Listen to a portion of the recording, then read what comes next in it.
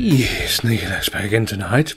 Tonight we're back with Debian 6.0.5. Yeah, came out a few days ago. Yes, Debian, stable, doing a stable thing. It works and will keep working. Won't go bang. Lovely.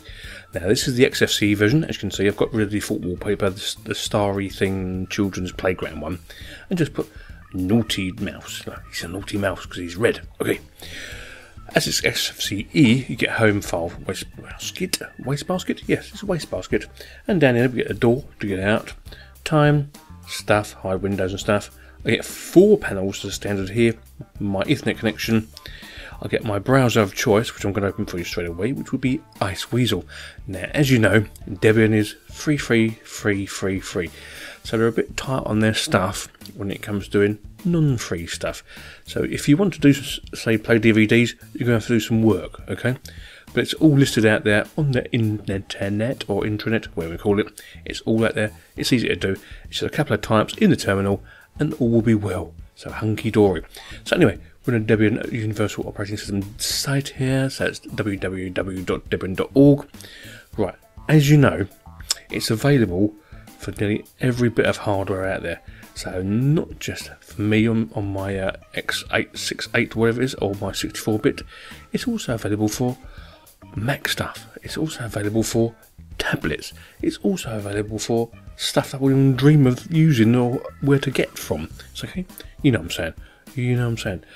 So if I want to get some, say, a network install, just click on network install. You can just decide what you want to download. So you know, so we've got AMD64, ARM, kFreeBSD, i386, a 64, a MIPS.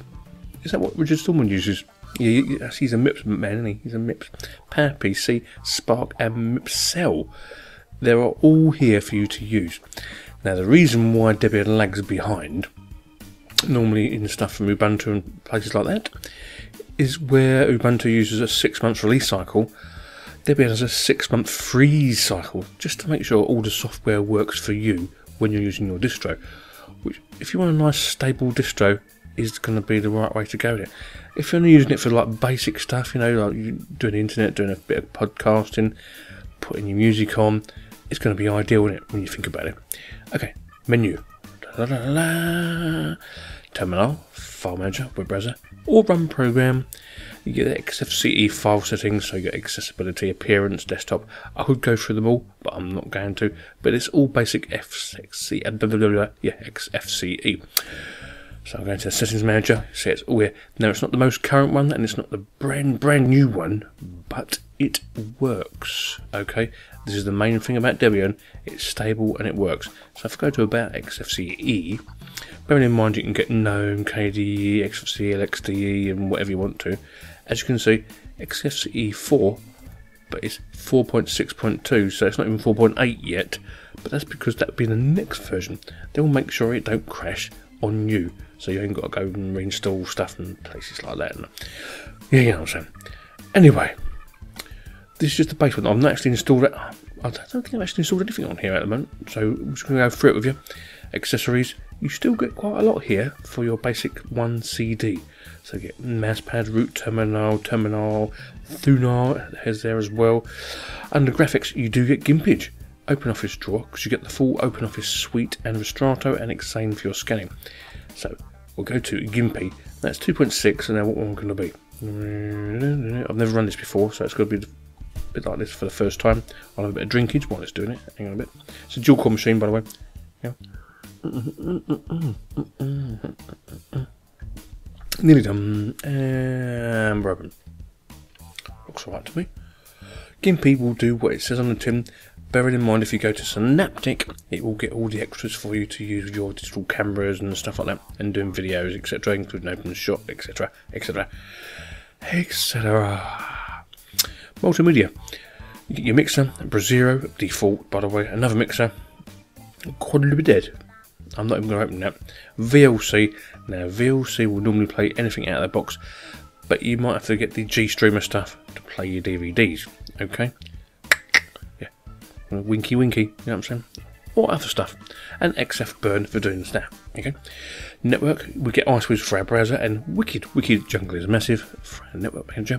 So it will, will support most of your wireless devices, but if not, you can get them to work if you really want to use Debian. And it's not really hard. It's only going to take an hour or so to get everything all done how you want it to do.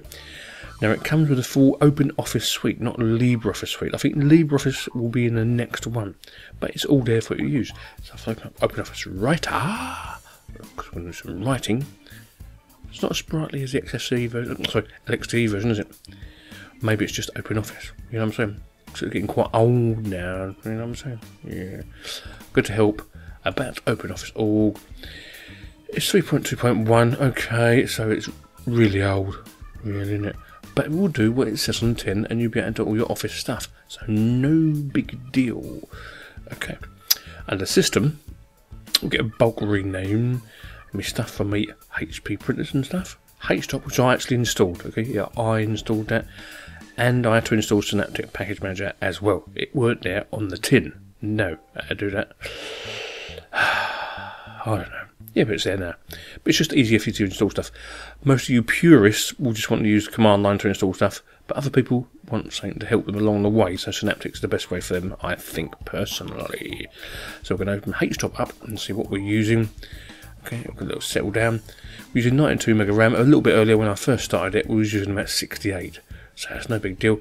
The CPU's not doing nothing at all, as you can see. Lovely, like it, super duper. Right, okay, that's all about I can show you really, because you have to install this stuff yourself. Okay, bearing in mind you can have whatever one you want. Now, if you want a real stable distro, and you want Debian, and you want Linux, go full Debian and be really happy. If you're a distro hopper and want cutting edge stuff, Debian is not the one for you. Do you know what I'm saying? And you'll know that anyway. But if you want stable, stable, and just push the button every day, it will come on. You do your stuff, turn it off, and it will keep coming on every day for God knows how long. Just go and get Debian Pure. Sneeky Linux out. I see you later.